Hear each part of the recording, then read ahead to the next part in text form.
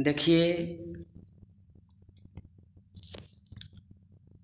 एक से पाँच में बहाल बीएड वाले शिक्षकों को सुप्रीम कोर्ट ने एक निश्चित समय के अंदर ब्रिज कोर्स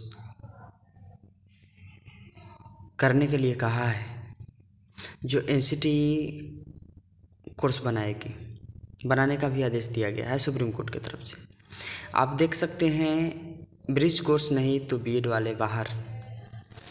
प्रयागराज, लखनऊ, यानी यूपी का है, उत्तर प्रदेश का।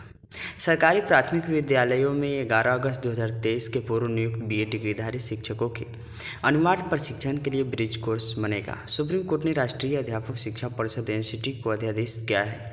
कि 28 जून 2018 की अधिसूचना के आधार पर 11 अगस्त 2023 से पूर्व नियुक्त शिक्षकों के छः महीने के प्रशिक्षण के लिए एक साल के अंदर ब्रिज कोर्स तैयार करें। अपने 8 अप्रैल के आदेश में सुप्रीम कोर्ट ने एन को शिक्षा मंत्रालय के मार्गदर्शन में यह कोर्स तैयार करने को कहा है। पाठ्यक्रम तैयार होने के बाद उसे सार्वजनिक किया जाएगा और तय समय सीमा में संबंधित बीएड डिग्रीधारी शिक्षकों को उसे पूरा करना होगा। यदि संबंधित शिक्षक उक्त पाठ्यक्रम में शामिल नहीं होते हैं, या फिर तय तय समय के अंदर अगर वो पूरा नहीं कर पाते हैं, या सफल हो जाते हैं तो उनकी नियुक्ति अमान्य हो जाएगी। यह आदेश देश भर के सभी राज्यों और केंद्रशासित प्रदेशों में समान रूप से लागू होगा। बीए डिग्रीधारी शिक्षकों की लड़ाई सुप्रीम कोर्ट के लड़ने वाले राहुल पांडे का कहना है कि क्रूस बनने के बाद उनहत्तर हज़ार शिक्षक भर्ती में चयनित उत्तर प्रदेश के तकरीबन पैंतीस हज़ार शिक्षकों को भी उसे करना होगा। सुप्रीम कोर्ट ने एनसीटी को कोर्स बनाने के दिए आदेश शिक्षकों के प्रशिक्षण के लिए साल भर में बनाना होगा कोर्स।